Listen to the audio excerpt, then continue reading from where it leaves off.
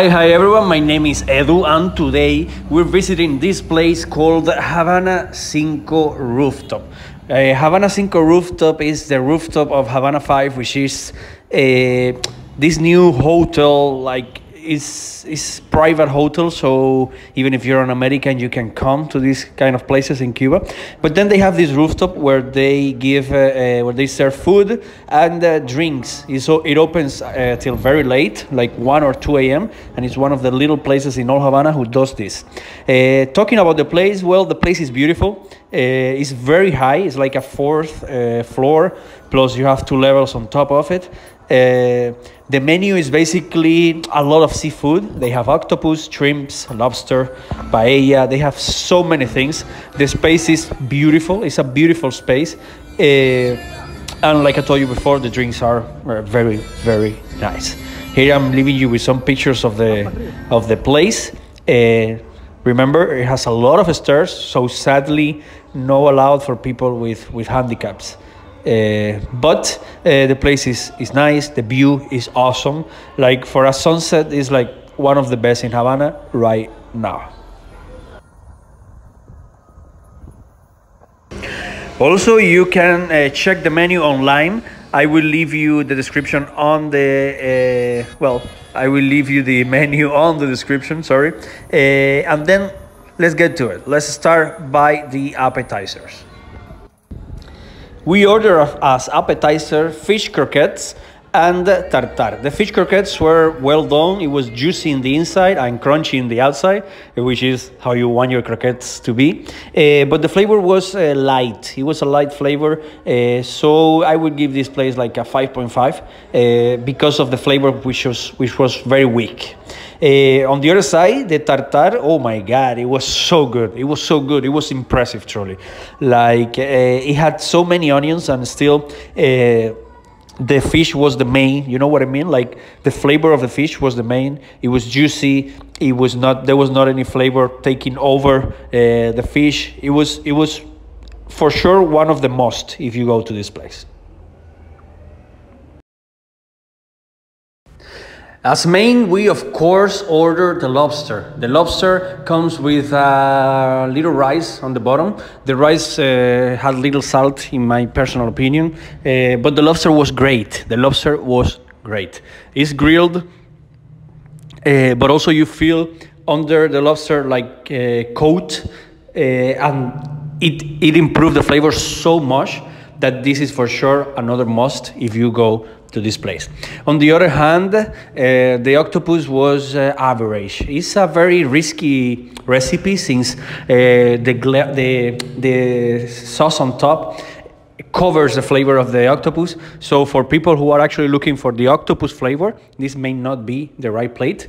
Uh, but it's not bad. It's just it's just different person, different taste. For me, uh, it was uh, not a not the right option for the octopus, uh, but still something is something you need to try by yourself to have your own opinion.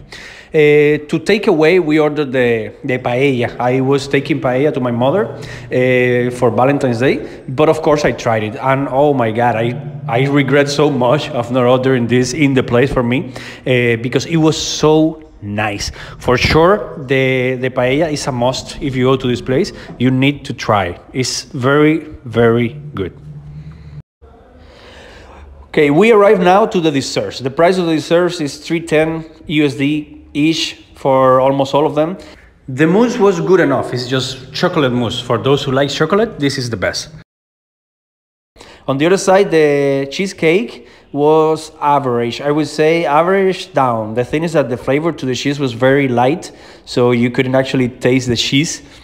Uh, the texture was awesome. It was correct, uh, but in general, the plate uh, was like, for in my opinion, the worst that we had that day.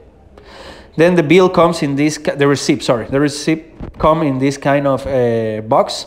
Uh, they take US dollar, they take euros, they take uh, Canadian dollars. So it's very nice. The price a little high, like uh, when you compare with places around where you eat a little better. I wouldn't say the quality is way less than the places around, but when you compare with the places around, the price is a little over uh, the quality of the food. Uh, there are some plates that that are truly worthy of the price. Like the lobster was worthy of the price, fully sure.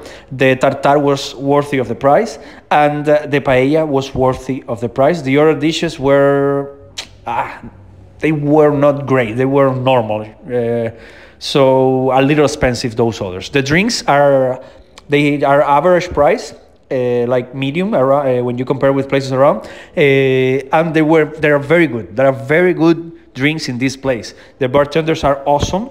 And well, in general, uh, what I'm showing, this this you're seeing in the back is uh, the hotel. They have a hotel, like I told you at the beginning of the video, uh, that you can book through Airbnb. Uh, or just go to the desk. Uh, the place is Habana 5, that's the street, that's the number of the house. The value of the rental is very nice. Like, for example, this is two rooms.